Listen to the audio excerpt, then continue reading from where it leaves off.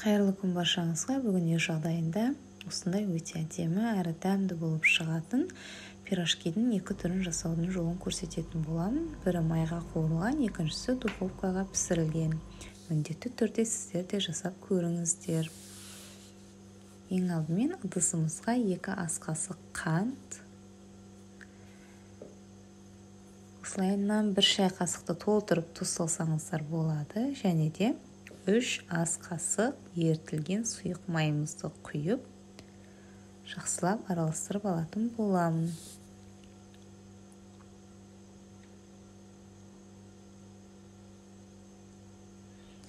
және де бір стакан осындай жылы сүтімізді құйып бір стакан суымызды құйып жақсылап араластырып аламын барлығы бір келкі масса болғаннан кейін осылай бір шай қасық дрожжымызды салып оны да жақсылап араластырып алатын боламын.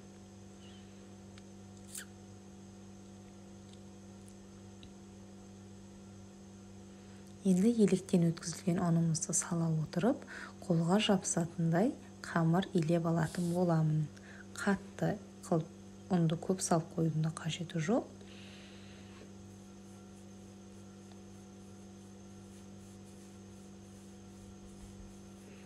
Қажетінше ұнымызды салып алатын боламын.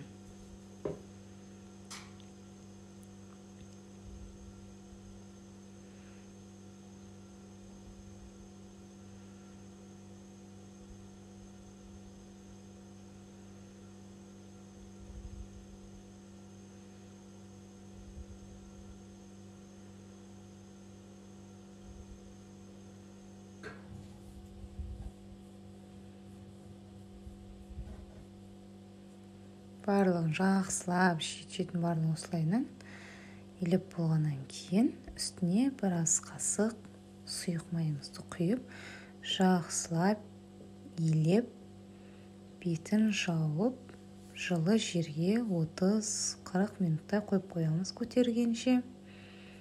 Бетін жауып қойсаңыздар да болады үстін енді қамырымыз ашып дайын болды. Осы қамырларымызды қалаған бөліктеріңізге бөліп дөңгелектеп алатын боламын.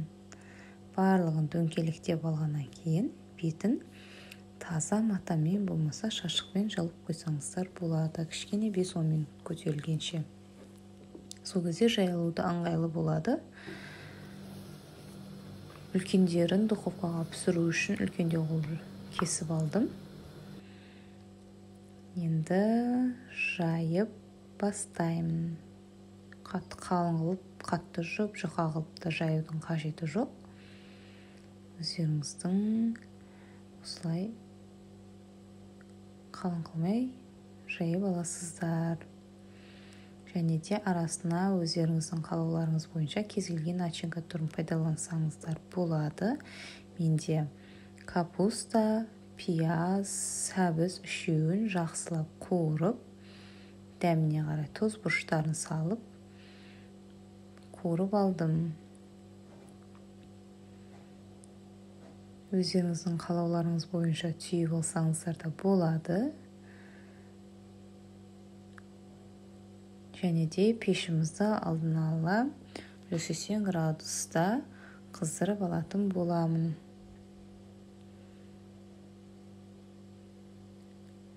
Өте дәмді болып шығады жұп жұмсақ ертесіне де қалса да қатып қалмайды қамыры.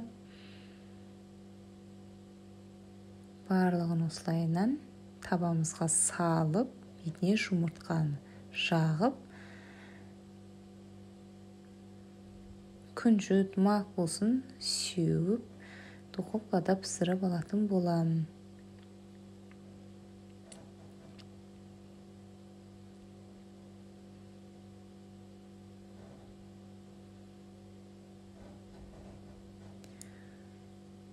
Ендігі кезек қалған қамырларымыздың барлығын жайып дайындап аламын.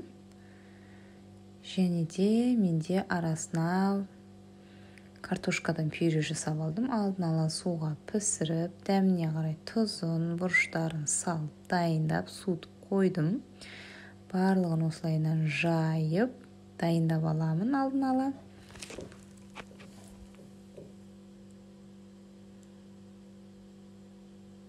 Және де салмасын салып қалауларыңызша түйіп алсаңыздар болады.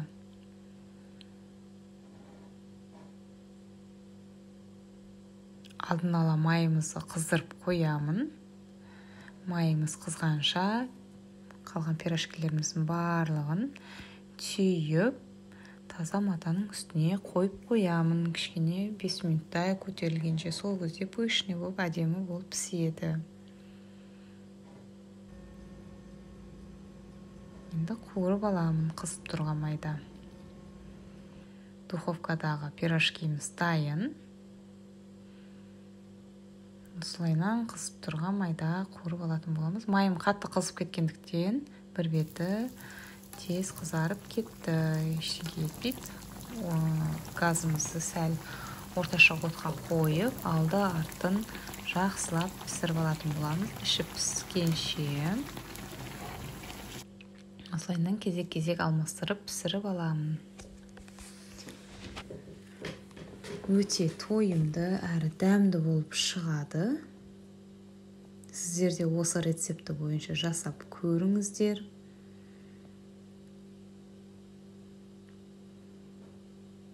Арасы да бәрі біркелкі болып пісіп шығады.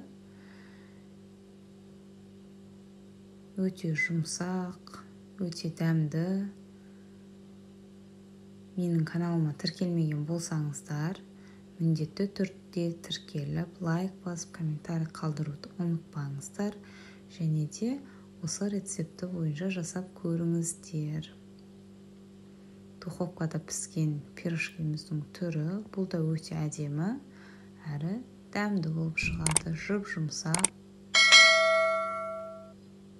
сіздермен болған динара